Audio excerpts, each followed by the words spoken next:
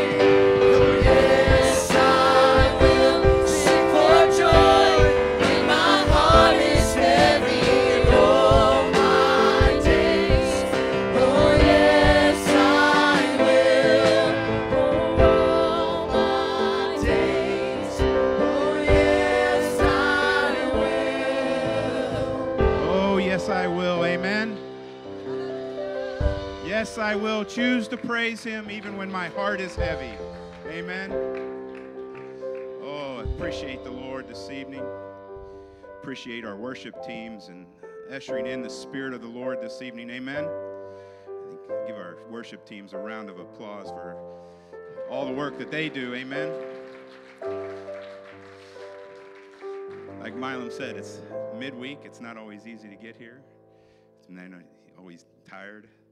But uh, the Lord comes to refresh. Amen. Refresh and renew. Amen.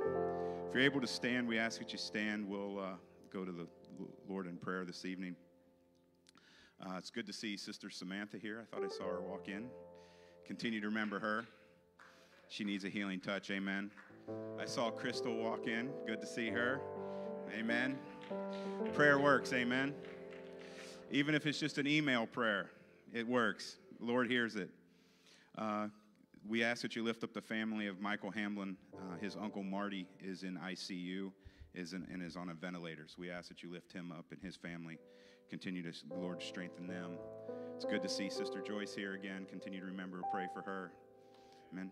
All those with unspoken signified by signal raising hands. Amen. Heavenly Father, we appreciate you. We thank you for the mercy and grace that you bestowed upon us again this day. Lord, you are a healing God, a comforter, Lord, in a time of sorrow. Lord, you are faithful and able, Lord. We praise you and glorify your holy name. In Jesus, we appreciate you. We thank you for who you are. Glory and honor be given unto you, Lord Jesus. Amen. Oh, Jesus, we lift you up. We thank you for who you are. Lord, you are a comforter. Oh, you see these prayer requests, Lord. We ask that you move in each and every situation. Oh, Lord, we ask, see Sister Samantha. You are a healer, Lord. Take this pain, Lord Jesus. Strengthen her arm, Lord. Oh, heal her arm, Lord Jesus. Oh, let her get a good report, Lord Jesus. Hallelujah. Knowing that coming back with a testimony, Lord, how once again you have delivered, how you have provided. Amen. Oh, Jesus. The spoken and the unspoken, Lord, we lift each and every prayer request to you in faith, Lord, declaring that these will become a testimony. How once again you have become, oh,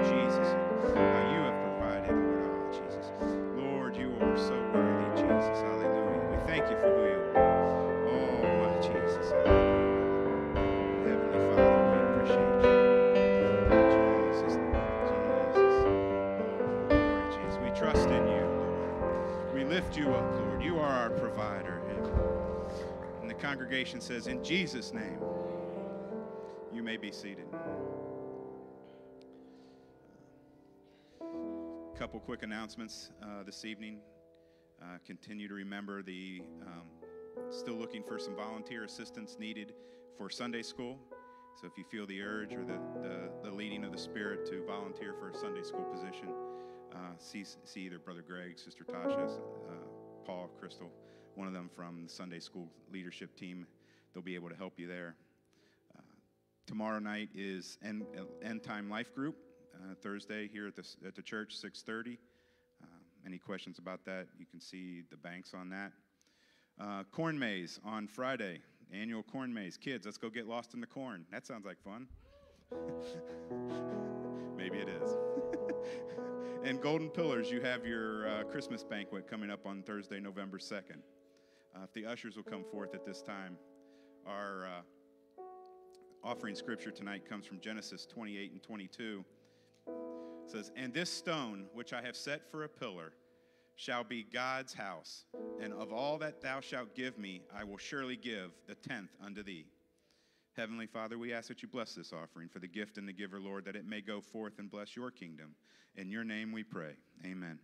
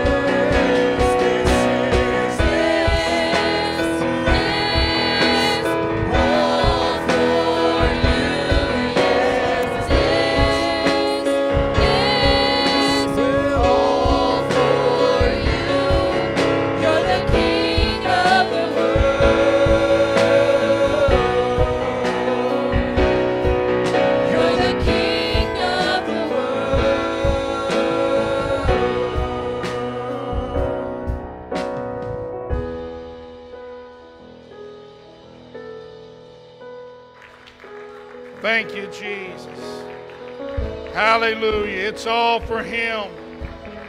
Amen. I've got a reason to praise the Lord. Amen. He brought us up out of that miry clay. Amen. He truly is the rock of which we stand upon. Amen. Where would we be if it was not for the Lord? Amen. All that we do is for Him. Amen. All that we do is because of Him. Amen. He captured our hearts. Amen. Our first love. There's no greater love we can ever have than that of the Lord. Amen. It's nothing like this relationship. Amen. I'm so glad that He saved me. So glad that He set us free. Amen. What a mighty God we serve. Amen. We're going to go to Romans 4 and 21. Amen. I got two dilemmas right now. I'm hungry for one, and two, I'm tired. Amen. But I know we serve a good God, and I'm in the atmosphere, man. I just feel feel excited about what the Lord is doing. Amen. God is so good. So good. Hmm, just praying, Lord, help me beat this tiredness. I don't know if it's the weather or not. I just like, God is so good. Romans 4 and 21. amen, says, and being fully persuaded that what he had promised, he was able also to perform. God just doesn't say it, God does it. Amen. And I'm persuaded because I done tested and seen that God's goodness is good because the things He's told me, He's brought it to pass. Amen. That's a God we serve. God always keeps His word. Amen. I can praise Him because He always keeps His word. His word has never failed me. Amen. If you'll put your Bibles down, let's ask the Lord to bless this word tonight. Lord, we love and we praise Lord, and we thank you for a heart and a mind to be here, Lord. Thank you, Lord, for your presence that fills this place, Lord. Lord, we're excited to be in your presence. We're excited to be at church. We're, we're excited, Lord Jesus, just to be in your very presence, Lord. Lord, and to be with people precious like faith, Lord. We thank you, Lord, for all that you do, Jesus. You're a mighty God. You're an awesome God, Jesus. You're the King of kings and the Lord of lords, Jesus. You're the great I am. Lord, you're all that we need. All that we will ever need, Lord, we know is found in you, Lord. In Jesus' name we pray. And let everybody say amen. Amen. amen. Smile at your neighbors. You're being seated. Amen. God doesn't God just doesn't speak words just to be speaking words. His words are never idle. They are always quick and powerful. He never promises and fails to deliver. Amen. God always keeps his word. Amen. Always. Amen. Life has an abrasiveness about it that can test the strongest of constitutions and try the greatest of faith. Life just comes at us. It comes at us hard sometimes. It hits us from all angles. Amen. But there's just something about it. We'll just trust and depend upon God. He'll see us through to the end.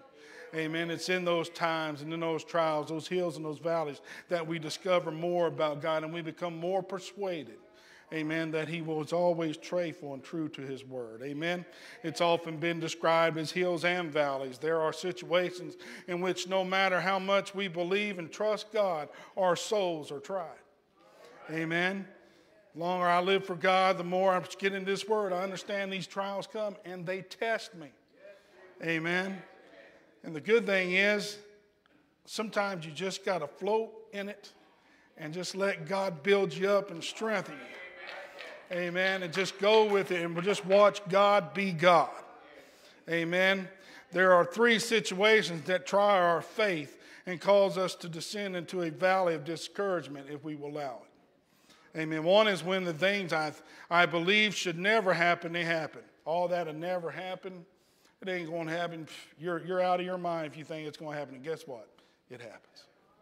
What in the world happened there? Amen. Another is when things I think should happen never happen. Oh man, this is going to happen, and then it, it never comes to pass. When, when, when's this going to come to pass? When's this going to happen? I just knew this was going to happen. And the third is some, in some ways, is the most difficult to deal with, is when things I believe should happen now happen much later. Amen. Oh, I was just expecting this to happen. When's this going to happen? Two, three years down the road, boom, it comes to pass. Like, well, Lord, you're an on time God. Amen. It's not always our will, it's not always our way, but it's truly His. Amen. We just have to be patient and understand if God said it, it's going to happen. Amen. All of us go through these trying periods and we struggle. Our faith, although it may be grounded in God's word, is assaulted sometimes by these times. Amen. We just take a beating. We just let it get us down sometimes. Amen. But we just got to continue to hold on. See, I want to deliver a message to you tonight. No matter how deep the valley and no matter how dark the night is, you can take to heart one thing God always keeps his word. He does not fail. He's an always on time. Again, it doesn't come when I want it to come, it comes when he wants it to come. It comes, but it definitely comes when I need it the most. Amen. He's always true to his word. He promises, he keeps them to the end. Second Chronicles tells of an earth shaking event. Amen. The nation of Judah has come to its own time of judgment because of their folly and their lack of faith. They had fallen into sin yet again. Amen. They'd go strong for a while, then they'd just drift off. They'd go good, then they'd fall off. See, backsliding had become a common part of their existence. Amen. They knew they could fall away and always come back to God. Amen. And there's a danger in that sometimes because sometimes God will harden his heart, not only his heart, but your heart. Amen. So you got to be careful playing that game. Amen. Don't patty cake with him. He says, I want all of you at all times. Amen. If you love me, keep my commandments. Fight through this, push through this, do whatever you got to do to make this relationship work. Amen. God, in his patience, at this time, God's patience has got exalted with him. Finally, he brought a judgment through Nebuchadnezzar, king of the Babylonians. His armies marched into Judah, burning and looting as they went. The people were slaughtered, and remnant marched away from the, in, marched away into captivity. It seemed like the end of Judah, just at the end, just as the end had come to the northern tribes. Both, but God had a different plan for Judah. He had told them this judgment was coming. He had gave them fair warning. Hey, you need to get together. You know, this is coming. Is going to come. That's why we got to make sure we have an ear to hear the Lord. Not just hear part of it, but to hear the whole thing. Amen. See, he had told them that they would be taken into captivity, but he also said it won't last. Amen. When the time is fulfilled, I will call you out of your captivity. You will come back into this land, and Judah will live again but you're going to have to go through something for a little bit. Amen. Such a thing had never happened before. They couldn't see how it could ever be. Amen. No nation in cities destroyed, its populace taken away and imprisoned in a distant land had ever survived and came back. Amen. But that doesn't matter because God said, Watch and see if I don't do it. Amen. I'm telling you, I'm going to do it. You know, God always is true to his word. Amen. Used to used to say something to people all the time, you know, they be talking smack, you know, you'd get angry or whatever, and you say, mess around and find out. You know, I'm about I'm about to light you up. You know, God has just lit them up. But at the same time, he promised you, I'm going to, I'm going to bring you up out of this. But you got to learn some lessons. Amen. So God said, I'm bringing you out. Watch and see if I don't do it. Well, it's never been done before, God. We've seen all these other nations. We've seen all this happen. Nothing's, and it's never happened. But God said, I'm going to do it. One of the most powerful prophecies God gave to assure Israel that they would return is the famous vision Ezekiel had when he saw the valley of dry bones. Amen. Ezekiel was taken to a hilltop overlooking a valley. Some horrible massacre had taken place. There was the field with this valley was filled with human bones. They were dead, dry human bones. The jackals and maybe even some lions had, had come and scattered them. They were scattered. There was no piece that matched any of the skeletal remains. None of, their, none of them was in their place. It was a vast chaos of bones and no order of hope of one. Ezekiel stood there looking at this hopeless situation, and God says, Can they live? Ezekiel replied, Thou knowest. You know, I've always thought Ezekiel was hedging, you know, his bets. You know, he, he didn't want to be wrong here, didn't want to say the wrong thing. And so his reply was, Thou knowest. Only you know, Lord.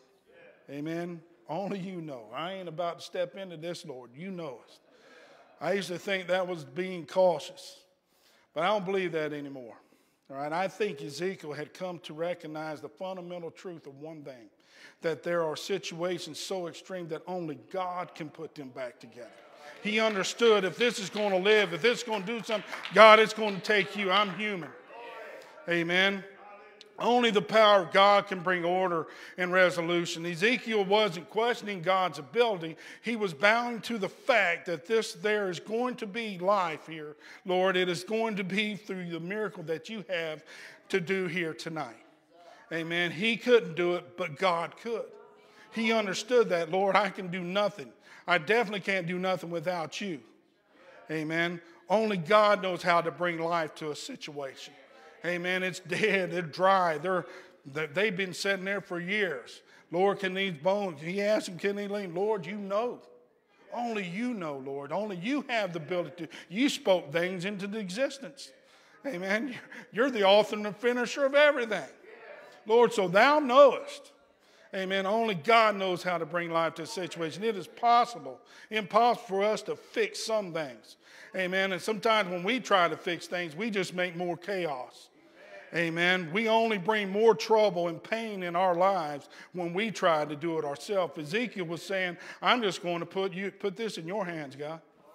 It's time for me to decrease. I'm going to let you increase. I'm turning this over to you. I'm casting all my cares on you, Lord, because only you know, Lord. And I'm standing upon your word, Lord, that you're going to see this to, to the end. You see, it's time to quit obsessing. It's time to quit living in frustration. It's time to quit leaning on the arm of man. Why don't you just tell God, you know how to fix this, Lord? I don't. We get into situations and we look for answers. And it's, Lord, you fix the situation because truly I can't. Amen. If I got to trust you, God, you're going to take care of the situation. I'm casting all my cares upon you, Lord. All, you're all I need. Everything is fixed upon you and fixed upon you. God then told Ezekiel to prophesy to the bones.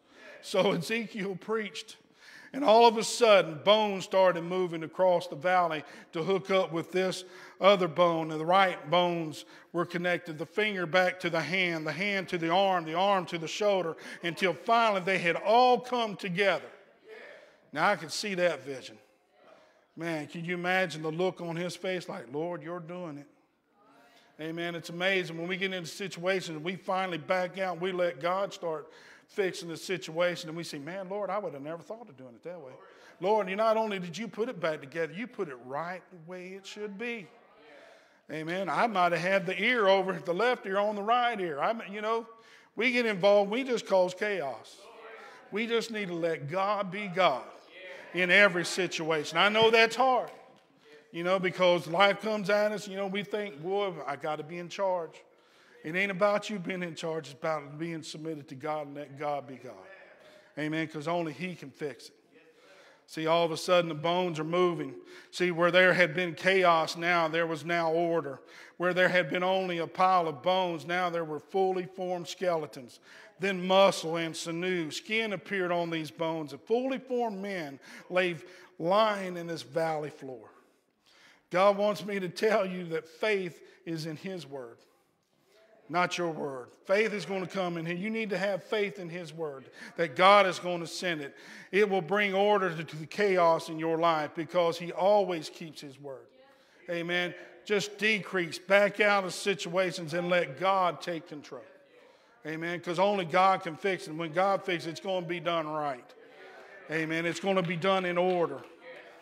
Amen. It will bring order out of chaos in your life because He always keeps His words. Can they live? God asked again. And Ezekiel looked in wonder at the scene before him. And again he says, God, thou knowest. Lord, you know. The prophet answered the second time, still refusing to take matters into his own hand. Smart guy. Amen. Still insisting only God can do the work. So he preached to the wind, came the order, and Ezekiel did and breath poured into the lungs. Hearts jump started and eyes spring open. All across the valley, they stood up, living, breathing men, a mighty army. This is what he did, he said he will do for Israel. God said, I will call you up out of your grave. Ain't no grave gonna hold you when God's involved. Amen. No matter how hopeless the seems, it is never beyond hope when God is in it. Amen. No matter what the past tells us, God always keeps His word. Amen. No matter how many times it seemed He did not come through, God always keeps His word. In the end, it was God has spoken. It is going to happen no matter what He has to do to bring it to pass. Trust and depend upon Him. Take that word. You can take that word to the bank because it's going to happen. You hold on to that IOU. Amen. God's going to see it come to pass. Trust on it. Continue to sing, continue to pray, continue to get into work, continue to come to church, continue to fellowship and pray for each other because God's going to bring that word to pass. Amen. He has spoken and it's going to happen no matter what he has to do to bring it to pass. See, if the sun has to stop in its journey across the sky, or if the Red Sea has to be parted, or if the shout brings down the walls, the city walls, or if a hungry lion's mouth has to be shut up and they lose their appetite, God keeps his word. Amen. No matter what the situation is. Amen. The laws of nature will not prevent it. Past experience of life cannot dictate it. Amen. Get ready for it. God keeps His word. Amen. He keeps His word. He's faithful and He's just. Amen. Many years have passed. Generations came and went. Nebuchadnezzar was gone. The Babylonian Empire fell, conquered by the Medes and the Persians. Judah still lay quiet, a ruin and nearly uninhabited. But God kept promising, I will bring you back into the land of Abraham, Isaac, and Jacob. Amen. Years. They're waiting. Where's this promise? A Persian king ascended to the throne of the empire. His name was Cyrus. He would change the course of history. No conqueror had ever released his praise, sending them back to the land from whence they came from. Resurrecting a destroyed nation had never been done. Amen. It was unheard of. It was simply never happened. It seemed folly, yet Cyrus did it. Amen. He declared that the Jews were free to go to return to their homes to rebuild, reestablish Judah. He said, shall, he said, shall live again. Judah's going to come back. Cities will rise from the ruins. Wells will be dug, crops planted, and it happened. Amen. They have declared him a genius, a visionary, Cyrus. The historians have, as they've studied his motiva- motives and his motivation behind what he did. They see his decision was a brilliant act of, of statecraft that forever changed the way nations behave. Their theory is that he became unhappy with the land formerly known as Judah. Well, it was just a wasteland, unproductive for his kingdom. He determined to bring it back to its former richness. He, he wondered, how can I trust to make the land productive again? And in a flash of brilliance, I think God spoke to him it occurred to him who better than the people who loved the land, whose forefathers lived there, than to restore it? So instead of holding them captive any longer, he decided to let them go back in the hope that they would rebuild their land. And so he did so, making the, him rich. That's what historians say. But here's what really happened. Amen. God keeps his word. Amen. God keeps his word. See, the time came for Judah to return to the land of promise, so he stirred up the spirit of Cyrus. It seemed that one day a servant read to Cyrus from the prophecy of Isaiah. He began to read this passage from Isaiah 44 and 28 through Isaiah 45 and 5. Here's what the word says that saith of Cyrus, He is my shepherd, and shall perform all my pleasure, even saying to Jerusalem, Thou shalt be built, and to the temple thy foundation shall be laid. Thus saith the Lord to his anointed, to Cyrus, whose right hand I have holden, to subdue nations before him, and I will loose the lions of kings, to open before him the two leaves gates, the two leaved gates, and the gates shall not be shut. I will go before thee and make the crooked places straight. I will break in pieces the gates of brass and cut in sunder the bars of iron. And I will give thee the treasures of darkness and hidden riches of secret places, that thou mayest know that I, the Lord, which called thee by thy name, am the God of Israel. For Jacob my servant's sake and Israel mine elect, I have even called thee by thy name. I have surnamed thee, though thou hast not known me. I am the Lord, and there is none else. There is no God beside me. I girded thee, though thou hast not known me. Cyrus took notice, and he began to tremble. Amen. When, when, when were these words written? He asked the scribe. Oh, about a hundred years ago came the answer. When those words were written, nobody even knew that there would be a leader by the name of Cyrus. Amen. How could they have had not he had not even been born yet? In fact, the Babylonians were the world power when Isaiah wrote his prophecy, but Cyrus is a Persian name. Amen. How could they have understood the Medes and the Persians would conquer the Babylonian Empire? Cyrus was so awed by God who could call him by name before he was ever born. Amen. And reveal that he would be the king of an empire before he was ever born, he immediately issued a proclamation declaring the Jews free to return to their homeland. It was not Cyrus, you see, who changed the course of history, it was God. Amen. And it was prophesied by Isaiah a hundred years before he was even thought of. Amen. Because God always keeps his word. Amen. He always keeps his word. It doesn't matter to God what he has to do. If he has to change the course of history, he'll do it. Amen. If he has to alter the relationships of empires and kingdoms, he'll do that too. Nothing is impossible with God. He can do anything, and God always keeps his word. Amen. He's a promise keeper. God doesn't say something and it just falls short. He sees it through to the end. See, nothing is impossible with God. No, no wonder we are seeing great revival for the world word promises. In the last days, I will pour out my spirit upon all flesh. It's coming to pass, amen, because it's God's word. Amen. It's coming to pass not because of you and me, because God always keeps his words. No matter how hopeless the situation may seem, if you don't just keep, if you will just keep the faith and hold on a little bit longer, amen, God will do what He has promised. Don't give up. Don't give in, amen. God keeps His promise. Amen. Don't let the situation that you find yourself in get you so frustrated and discouraged. Amen. Hold to God's unchanging hand. Amen. Walk with Him, talk with Him, continue to build that relationship because God keeps His word. Amen. Keep praying over your children. Keep praying for those lost loved ones. God's going to bring it to pass. Amen. You got to go. God has given you vision. God has given you dreams. Do not give up on them because God keeps His word. Amen. He's true to the end. He's truth. Amen. God can do all things but fail. Amen. He's definitely not a liar. Amen. God is true to His word. Hold on to that word. Hold on to those promises. Amen. If God's given it to you, you keep it. You keep it, you hide it, and understand it's going to come to pass. Don't let circumstances bring you down. God always keeps his word. Ezekiel saw it come, and Isaiah told the world who would be God's instrument to accomplish it, but Jeremiah showed us how he, to react to it. Amen. Jeremiah is called the weeping prophet because of the gloominess of his preaching. Amen. His message was a simple one God has, God has had enough, and the day of judgment is at hand. Amen.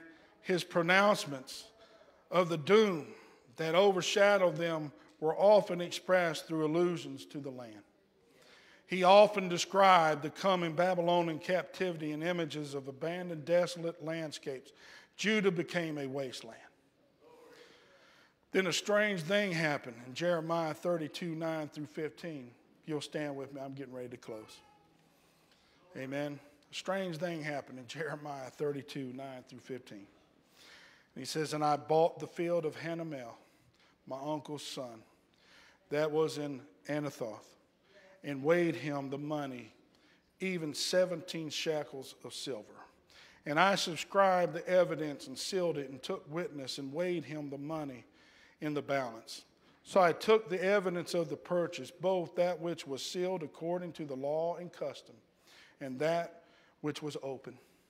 And I gave the evidence of the purchase unto Baruch the son of Neriah, the son of Maaseiah, in the sight of Hanamel, mine uncle's son, and in the presence of the witnesses that subscribed the book of the purchase before all the Jews that sat in the court of the prison.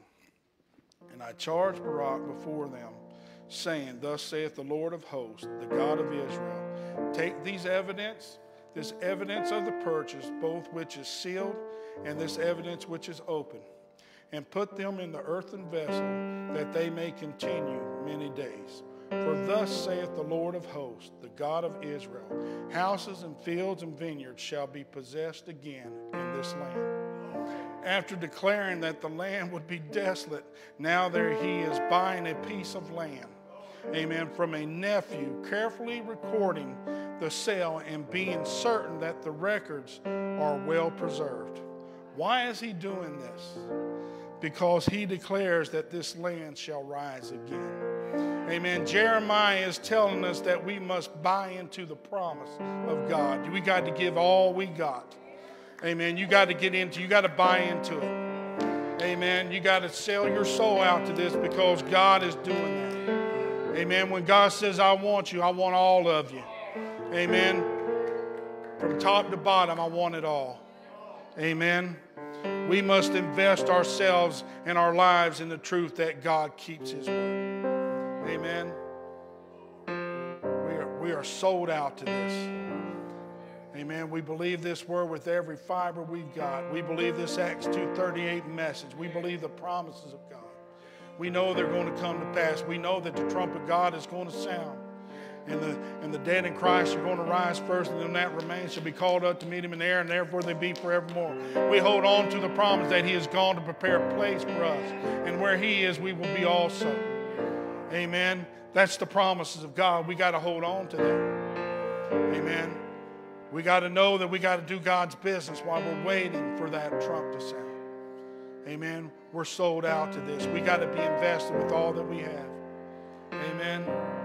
Not just a little bit, not just halfway, but all the way. Amen. Invested in this, sold out to it.